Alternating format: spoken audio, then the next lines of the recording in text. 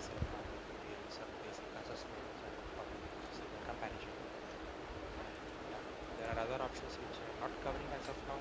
So this will be covered in the advanced part of this course. And even the scripting also I'll be taking uh, a little bit deeper and other options which we have uh, you know with respect to TPT. Uh, so that will be covered in another advanced course on TPT itself. So uh, with uh, today's final session will be on the requirement uh, traceability and management. And we will do something uh, some miscellaneous settings I will just show you know on the importance of it. So with that uh, this course will be done. And then uh, we will see and meet in the next course from now on. So the first thing about uh, now the TPT is so everything is packed here. So whatever the options even the requirement linking you wanted to do anything with respect to the test cases everything is in one place we just have to uh, start uh, you know filling the details and do the linking properly it will start to work. So now for this particular test cases which we have created uh, till now I have some requirements in my excel document. So I wanted to import this and once I import this I'll try to link it and then we'll generate a report. Then we will see how it comes to a conclusion how you know the report shows the traceability also. And then we will have some test case details and then uh, we'll see how it will be shown there. So here this is uh, TL class it's just a document name just for the reference. And once I give next so it is asking whether I have an Excel CSV or a source export. So I have an Excel export on my desktop can enter a manual version so if you have anything on your own but uh, if you don't want so TPT itself will maintain versions for this. So every time you don't have to delete your existing requirements or anything like that when you just update it automatically it gets overwritten and it finds out which are requirements changed which are not changed. We'll, we'll see that as well. So I will not check this and I click on next. So now I have some data and then click next. So now it is asking which column should I treat for requirement ID so requirement ID it is and which column is for the text. So requirement text. And so this we can neglect requirement type column. So I have something called as type here. So heading is a heading and requirement is a requirement. So now it's ready to be imported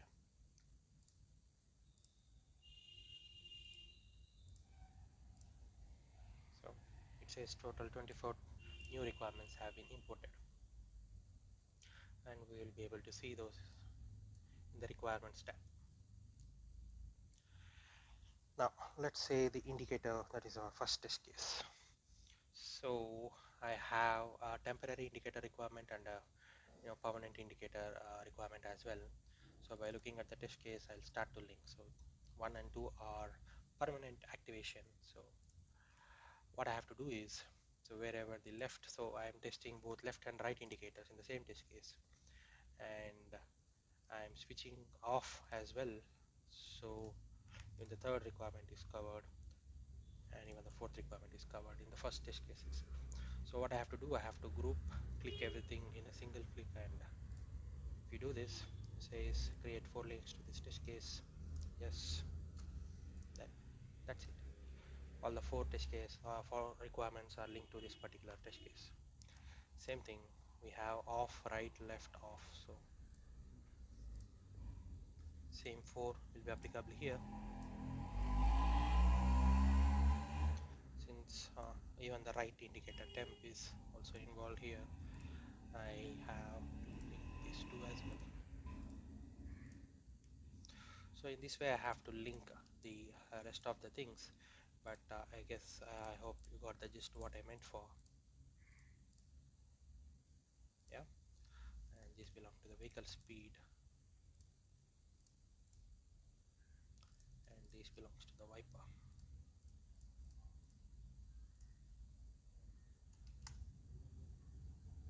Then we have some indicators again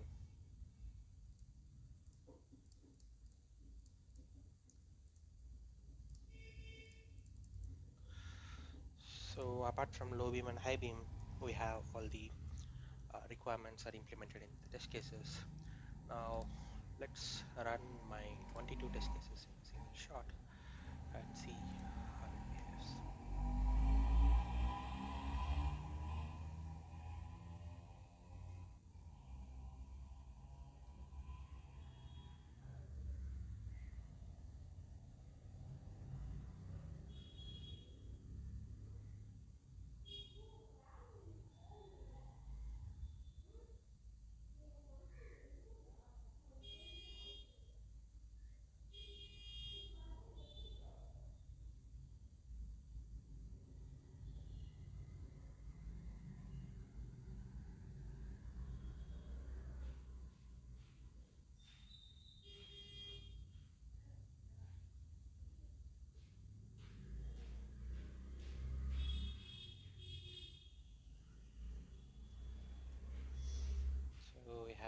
executed here. So let's generate the overview report.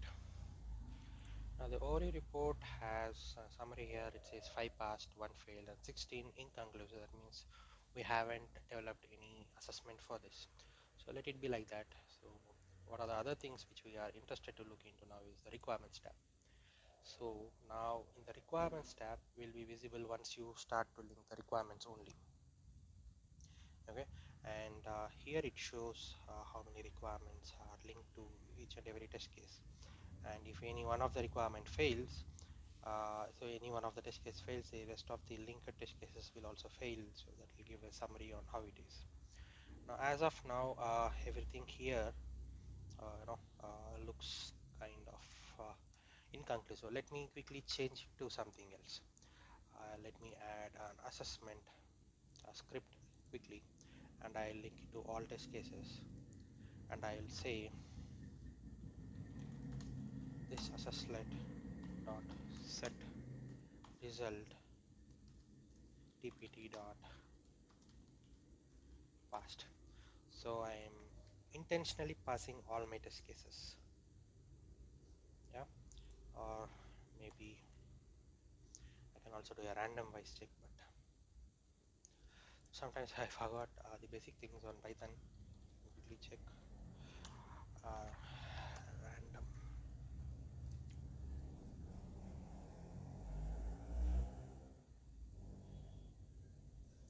Think random will work here with uh, Python. But uh, anyway. So intentionally I'm passing all the test cases. Let's run again from the beginning. So now I have to select the start instead of start selected. So I click on this. It start to work.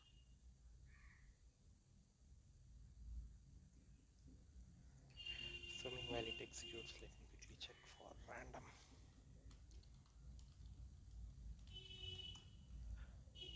So I know the function but I have a doubt whether it will work in TPT or not because we can't import extra libraries like random and all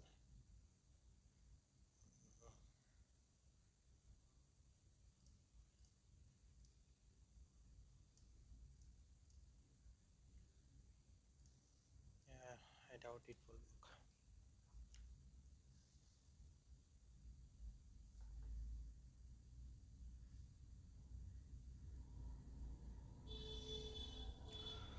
So now if we look at the requirements now it says still there are some question marks.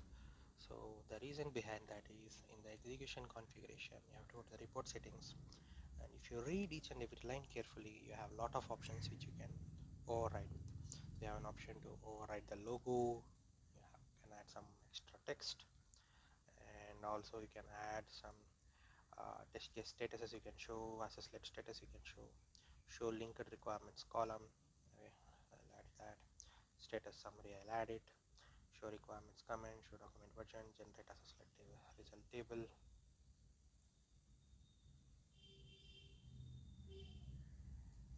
And check this as well. So now I don't want to execute every time because execution means my data will be sent to MATLAB and from MATLAB I will receive uh, the data. So it's kind of a time taking process. Now I haven't changed anything inside the test case. The test case remains the same the one which I modified is the execution configuration as well as with some the assessment. So you just you have to do the assessment. For that you can disable the execute option and keep only the assess option here. And maybe you can increase number of cores for a faster execution. Okay. now when you run this will not check your MATLAB. It will not send data to your MATLAB. Okay? Your MATLAB will not execute but it will just use an existing TP, TPT bin related data. So uh, previously when you have executed the test case the test case uh, data will be stored in a format called TPT bin and that will be stored in a uh, temporary location. I will show you that how it is stored. Once that is available you just you can do the assess part okay? So and it will be very quick. So now if you see the requirements now you will see even if one test case fails the entire requirement fails yeah. So somehow somewhere there are few. So here all the test cases are passed to this particular requirement. So this requirement is completely tested. So on and so forth.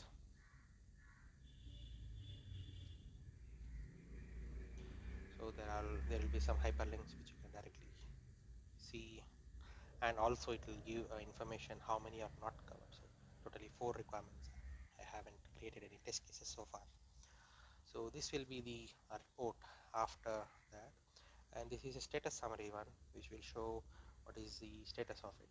Uh, so usually whenever uh, we do a test case uh, review we will change the status. Change yeah change status. And we will set it to to be reviewed and say assigning to person. So that person will do the review and that person will do the review and again he will change the status to be stable. Okay? X person. Checked. So now all the test cases are stable. Now when I run this again so just assess not execute part. See it's a matter of seconds. Now you can see uh, the review date. So when it has been changed to stable state and who is the person name and what is the comment he has provided. So this also has a review documentation inside. Yes. And post that you have other information which we already covered. Yeah which we have already covered. So this is about the reports. Now apart from reports uh, I'll execute uh, keep the execute ready and when you keep the execute ready make sure you keep the code to 1 because uh, if you forgot to change it to 1 okay and you try to run a multiple test cases your TPT will try to open 16 MATLABs. So you should be careful with that. And so this is the directory where it stores the reports and this is the directory where it stores the TPT bin so now I will show you what the TPT bin um, actually is documents and we have something yeah. Uh, okay we have the TPT file here. This is the report section of the TPT you can see all the overview report and the platform wise report. Yes. And then we have something called as test data. Here each and every test case has a TPT bin and each and every TPT bin has all your data inputs, outputs, local uh, variables, assessment variables, parameters, everything. And uh, using this data, so TPT will do an assessment. Okay, when you do only assess. So yeah, you can see here how it is stored. Same way you can see it for each and every test case. You will find it for all. This is something which you have to remember for and attributes so if you have to change anything in the report so this is where the attributes will be. Storage. So the reference directory. So we were actually discussing about this at an earlier point when the signal comparison came into picture. When you select reference directory there will be group of files which it will be looking for which is a tpt bin file format. So this is where you have to browse. Once you browse the location where the tpt bin files are available for each and every test case uh, it will start to detect this and then it can automatically assign okay uh, and do a check. So now the left side uh, is my actual model output. On the right side I can simply say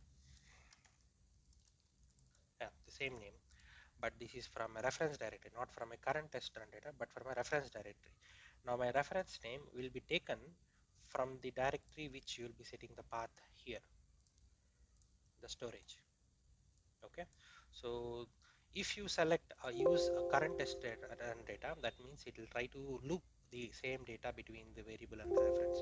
So the output of the model will be the same as the reference uh, signal.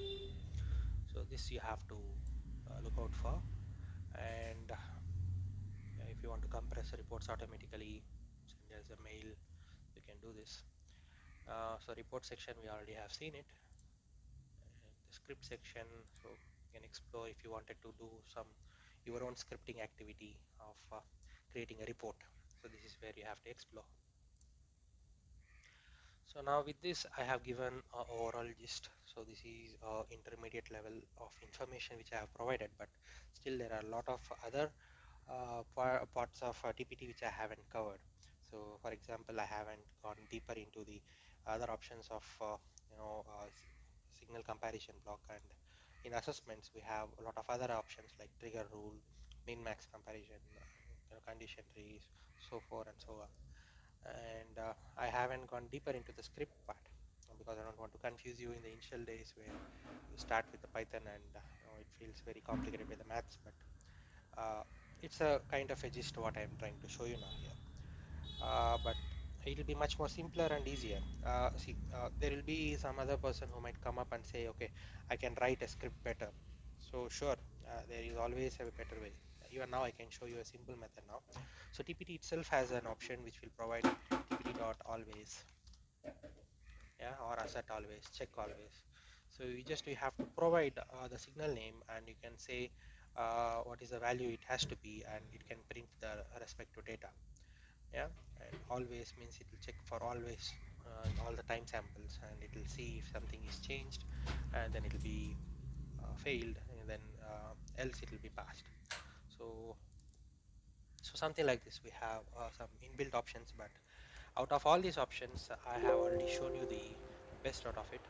So that is by tpt.signal comparison API so if you understand how this functionality works and how an expected signal is being built then obviously this is a very easy walk around the park uh, I don't have to recap everything. I'm sure you have the necessary information for that uh, so there are other options which I not intend to cover now. So let's say you wanted to export the test cases data. So uh, have for all these cases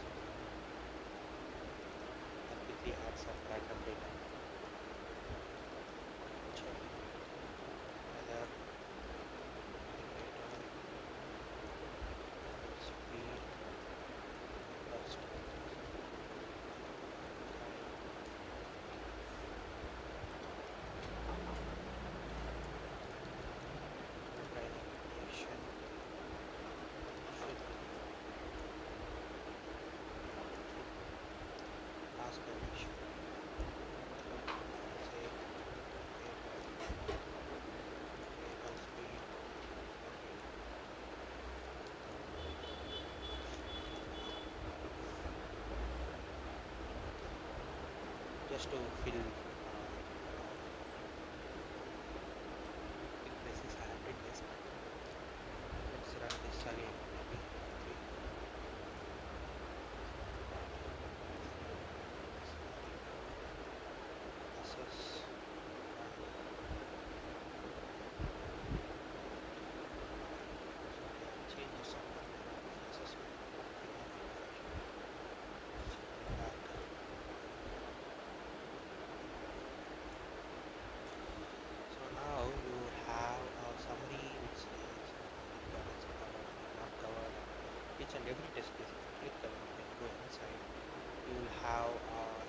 summary of the things which you have typed. If, if you want to include that uh, make sure select this option.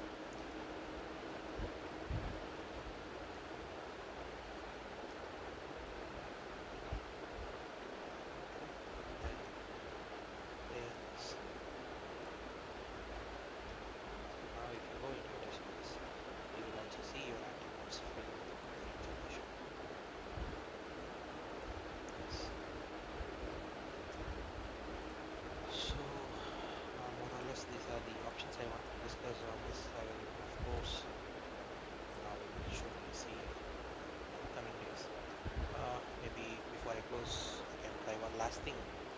Uh, I can generate some automatic cases, okay, out of MATLAB.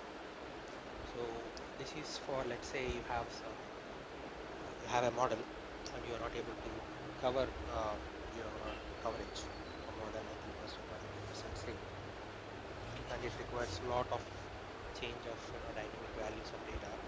So sometimes Tasmo does a little bit better, but it's hard to find out based on which requirement the activations are happening.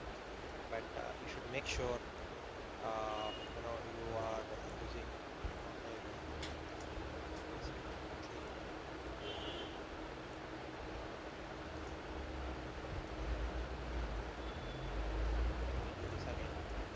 So Tasmo generates test cases, but you will have to analyze each and every generated test case and find out based on which condition things have changed. Now is able to find uh, acceleration, high beam function, indicator function, low beam function. So these are the subsystems inside each of these. And it is able to find different kinds of logic, which uh, you know, it is ready to uh, generate test cases. So now I have to set some goals and say, okay, uh, what is the mode of coverage? So there are 132 condition coverage, and 121 MCDC coverage, and 80 decision coverage. Totally all criteria is 33, 33 out of 333. And I want everything to be covered. And uh, okay. And I have to make sure uh, each of these signals So now we have some input signals here. So these signals I have to view. Okay, kind of data I can view. So I can say um, see, linear, linear, so uh, slopes, something like that. You know, I can test on a sinusoidal. Can also be linear.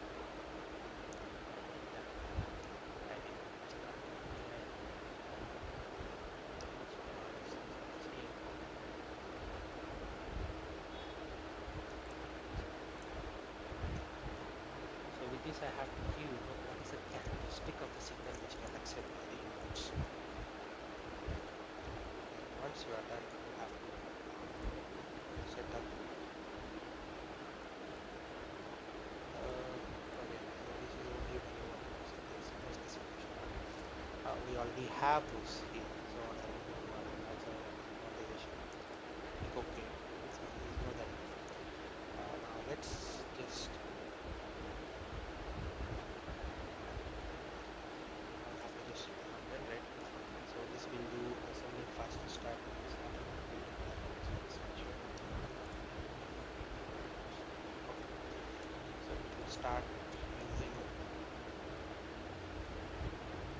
Yeah, it will start analyzing the model. Start compiling it.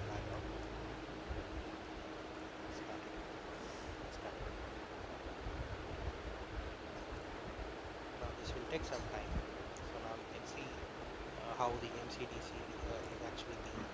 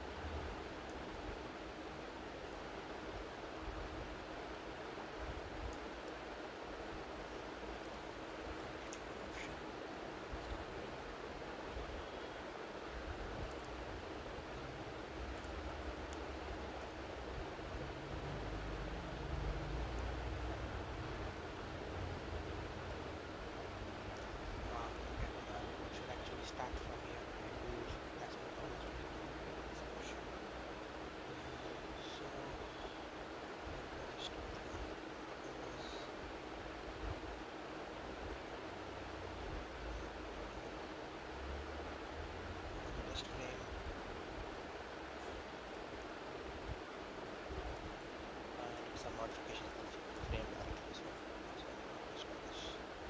So practice the still we have things ready. Uh, let's do a final check here.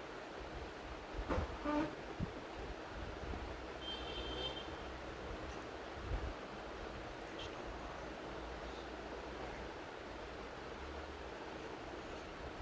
alright.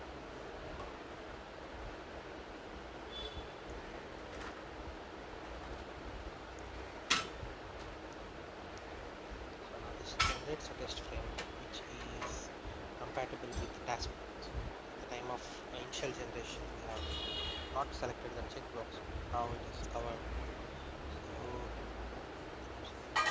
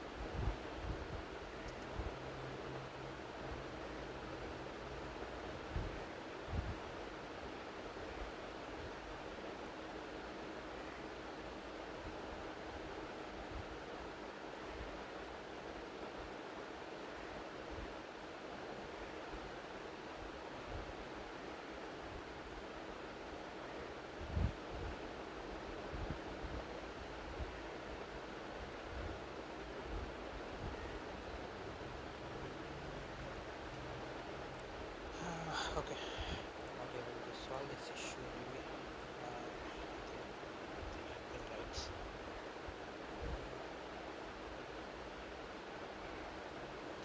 This is trying to access plugin in this location.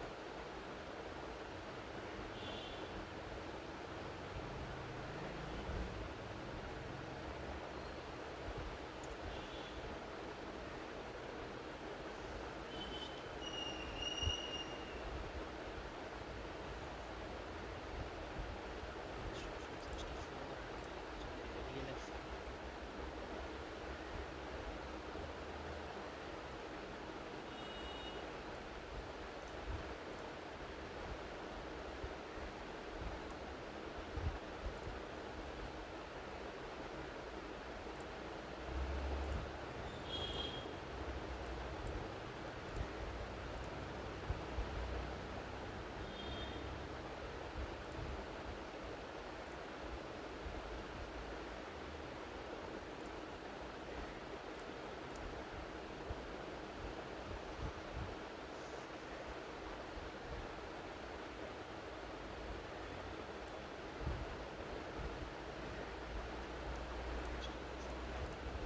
Last try, but uh, if not,